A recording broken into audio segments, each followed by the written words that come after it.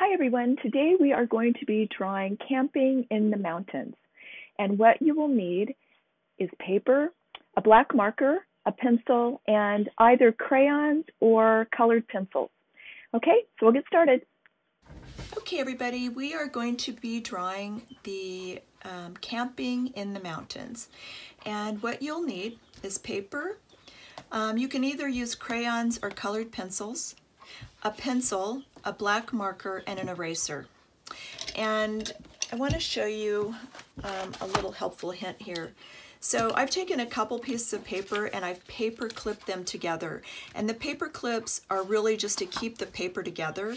Um, I like to use a couple pieces of paper um, when I'm drawing because it sort of pads the paper so that when you put your pencil down or your pen down, it's a softer um, it's a softer surface to draw on. And these paper clips are just sort of a handy little tool to have so that they keep the paper in place, you know, so they're not moving around. Okay, so we're going to be drawing, um, the first thing we're going to be doing is drawing a tree in this campground. And um, I want you to take the pencil and just draw a nice long vertical line down. And that's going to be um, what you're going to be building your tree off of. So come down about an inch and come over about an inch and a half. So just draw a straight line down with your pencil. And um, you can either erase this later or color right over it. So we're going to be drawing um, a redwood tree or a, a, fir tree. It just depends on, you know, what what it ends up looking like. But um, it's going to be sort of a cone-shaped tree.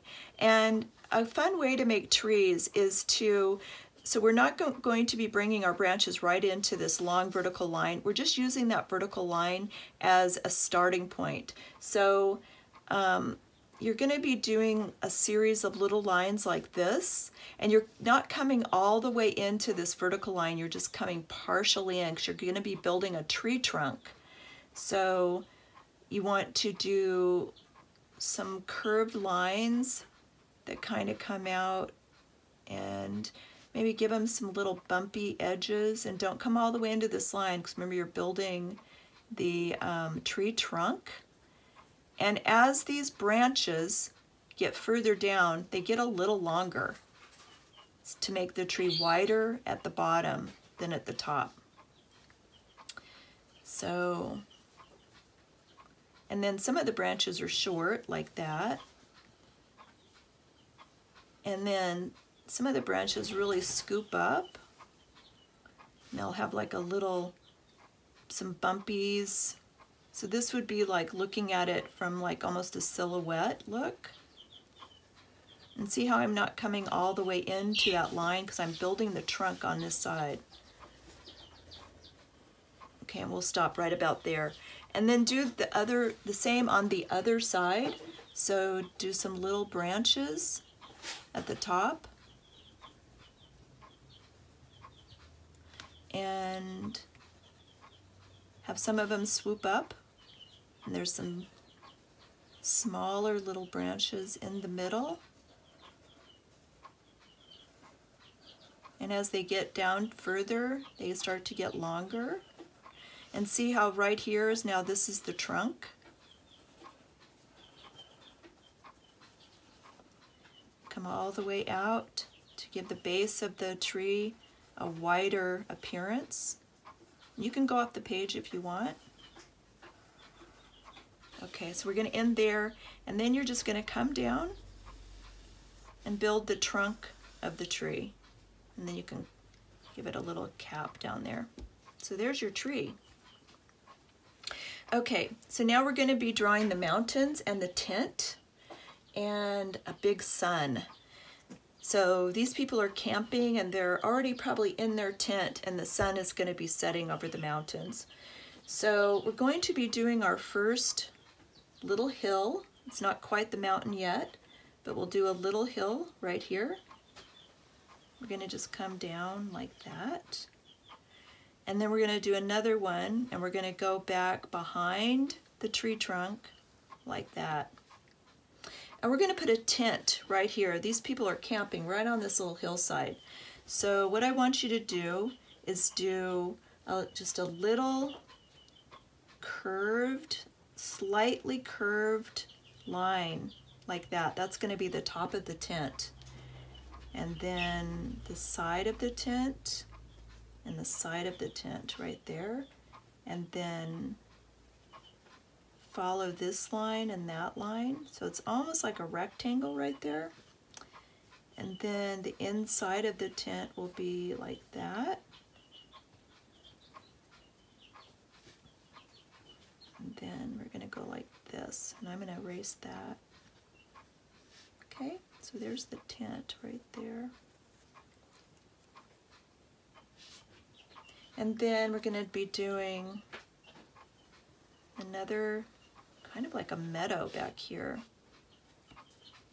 And then we'll do, we'll come up here and we're going to be doing a nice big mountain. It's going to come all the way down to this meadow. And then we'll do another part of this over here. It's going to come out and it's going to go behind that tree like that. And there'll be another, like another little hill, mountain probably, more of a mountain than a hill. And then we'll have some really large mountains in the background that go like that. And then one that goes like that. Okay. And then we're going to do a big sun. And you can, if you can grab a plate or something that's round at your house that you can make a sun back here, I'm going to freehand it and it might not be completely symmetrical. But if you can see if you get a plate back there or a little saucer, do your sun there. And we could even put a, a bird in the sky here. So I would do his bird body like that and then do some wings. You can go out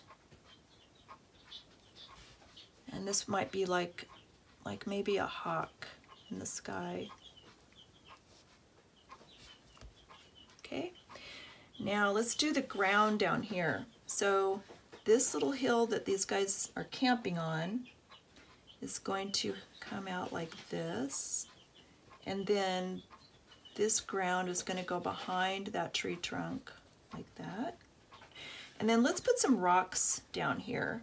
So we've got maybe a rock like this.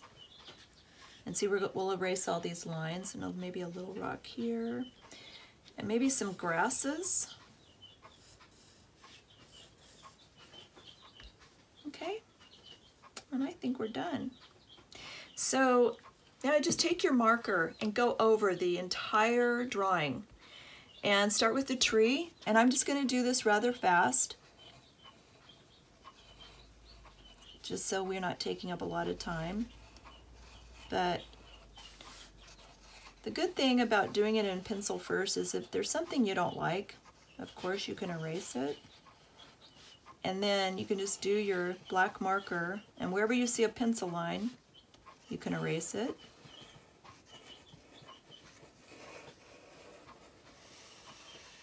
Then come up to the top.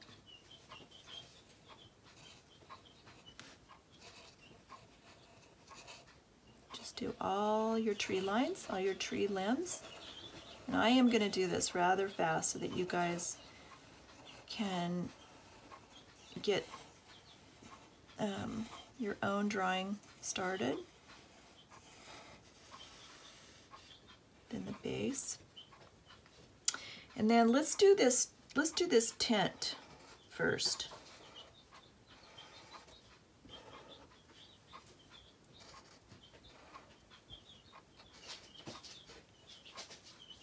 And then let's do this rock.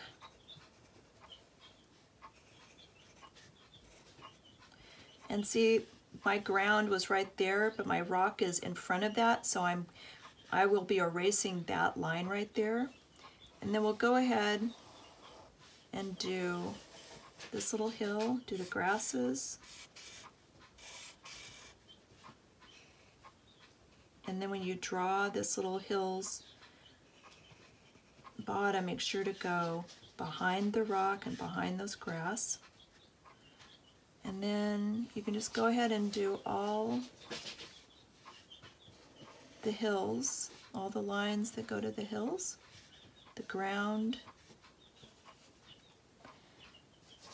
this mountain, and it goes up here, and this mountain,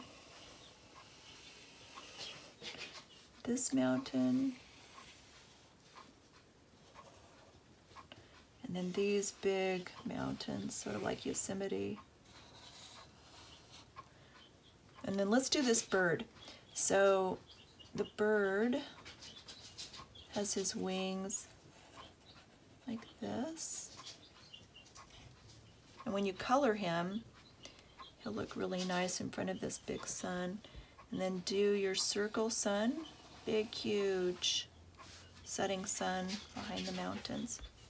Okay, so now you can go ahead and take your eraser and erase everything that you see. And once you color it, you won't see any of these lines. But now see if you if you erase all of this, you'll see that the tree's right there. You just go through and erase everything. Have a nice coloring page that you can have so much fun coloring. And I'll show you one that I colored. So you can remove your paper clips. And here's one that I colored and I used crayons. And you know, I colored, I tried to stick with just a few colors. Um, when you have that big crayon box, you want to use almost every color, but I colored this tree and this hill the same color and the bird up there, I even colored him green. And then I did different shades of green as I went back. And remember, as you go farther back, things get lighter and lighter. And so this one, I, I actually made it white, like maybe even there's some snow on it, and I gave it some little shadows. And um, I put some little extra grasses in. And I made the, the tint and the sun the same color. So it's nice to just use a limited palette with, with just a few colors and maybe add those on top of each other. So I added some more orange from that sun to there and I put some of the orange in some of these hillsides and I put some in the sky. And remember that down closer to the horizon, it's a lighter sky than it is at the top. And I put some extra little grasses in and that's it. So I hope you liked doing that.